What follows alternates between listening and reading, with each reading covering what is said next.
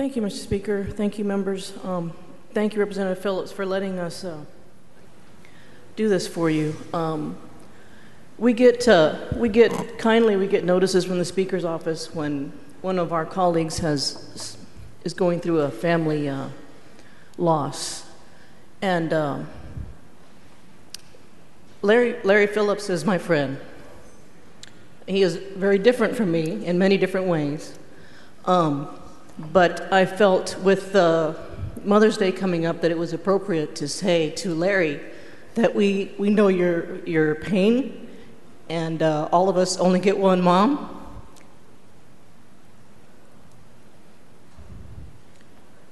And when it comes to family and loss, this body knows no party and no division. So I thank um, Larry and his family for letting us do this, and I, in the memory of a woman with a tremendous name, Patsy Ruth Willingham Phillips Alexius. I thank her for, um, for bringing two children in, into this world, uh, and one um, especially grouchy and brilliant one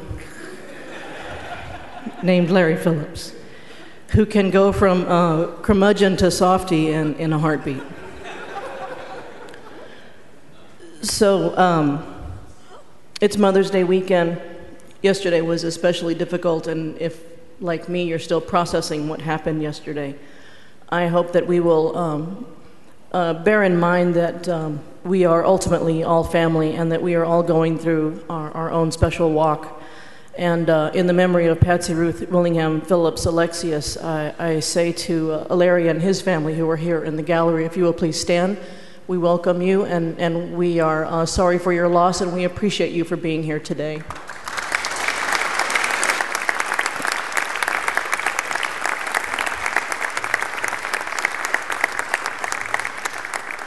So, Larry, I better stop there because I'm getting choked up myself. But thank you to recognize Representative Phillips. Celia, thank you so much. What a sweet thing to do. And I just want to offer this up for all of us who have lost our moms coming up to Mother's Day. Uh, I was blessed. Uh, one of the emails I, or texts I got very quickly was Patricia Harless. She said, It's tough to lose your number one fan. And my mom was my number one fan. It's great to got my stepdad, Bob Alexius, my wife's here, and my daughter, Mary Beth's over there. It's, uh, my sister wasn't able to make it, and uh, my other kids are uh, are busy. My uh, yeah, my middle son's graduating tomorrow. We're going to Baylor and see him walk across stage. So it's gonna be tough not to have mom see that. Uh, my mom was an awesome lady, and I'll tell you what, uh, I had no idea back in the mid '70s. One night on Sine Die, I was sitting over here and they actually moved the clock down so they could keep passing bills. That clock right there, the sergeant laid over. Because she worked as a citizen to get a licensure bill passed for her profession. And some people say, well, why do you need government, right? We debate about that. But when counselors and those that get paid for it, uh, they should have some responsibilities and some ethics and some things that we know that good people are doing that. Because when you show up, whether you're a student talking to a school counselor, or someone trying to get marriage counseling or whatever, we need to make sure that those people that are providing that uh, are ethics, have ethics, uh, that they understand what their duties are and what lines to cross. Uh, the first session, I wish uh, Dean Craddick was here. His good friend Bill Severa killed their Licensure Act uh, on a point of order. So I learned what a point of order on when I was uh, quite young.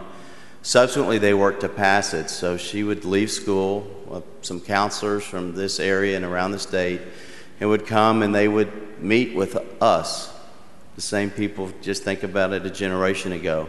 They'd bring cookies and bread and those kind of things, and they would visit with the staffers. And they finally got a state rep to take up the cause, and then it grew from there. And it took them a couple, two sessions.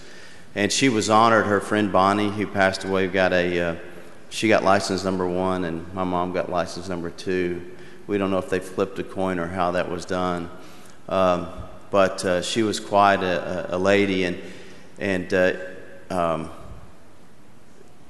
you know, it was a, a tough year for me. My mom died, and then her brother, my uncle, who had no kids, died three weeks later. And then uh, two days before Christmas, uh, my dad had an episode where he uh, was ter- permanently paralyzed, and he's fighting through that. So, so I thought I was going to lose all of them in one year. Uh, but God's been sufficient through all of this uh, with friends. And so we may lose family, but we certainly have friends. And I count all of you my friends. Uh, so many of y'all that came and um, lifted me up through that time and through tough times over the last eight sessions have meant a lot to me. Um, you know, it was not lost on the congregation at the funeral when I talked about my mom would have gotten a real kick knowing that uh, those big, beautiful flowers up front came from the Republican caucus because she didn't share my party. But it was awesome that, and her friends knew what involvement she was in politics in this area, and uh, we got a kick, kick out of that. Thank you all for letting us take this time this morning to honor my mom. Uh, she was a special lady. Uh, she uh, cared about um, her faith, her family, and her friends, and she always lifted them up. God bless y'all. Thank you.